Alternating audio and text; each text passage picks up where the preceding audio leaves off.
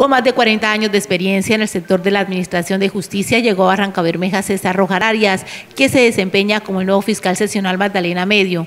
Fue director de Fiscalía del Bichada, así como de importantes cargos en otras partes del país. Yo vengo de ser director seccional de Fiscalías en el departamento del Bichada, donde duré 16 meses y eh, anterior a esta seccional estuve como director seccional en el departamento de Norte de Santander también y de ahí pues he sido fiscal seccional, fiscal local y he transitado a lo largo de distintos cargos en la Administración de Justicia desde la época de los juzgados de instrucción criminal. Tiene un amplio conocimiento de lo que sucede en Barranca Bermeja y la región, por lo que espera trabajar con las diferentes autoridades y lograr un buen resultado.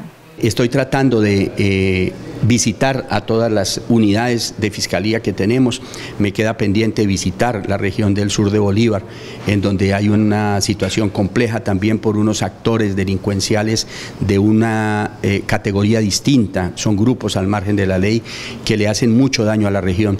Eh, ahí vamos a estar también con algunas acciones y hemos obtenido alguna información importante que estamos evaluando para adelantar algunas acciones con la fuerza pública. Tener un amplio contacto con las comunidades es su objetivo interactuar ante las difíciles situaciones que tiene el Magdalena Medio. Nosotros tenemos una región que abarca 30 municipios.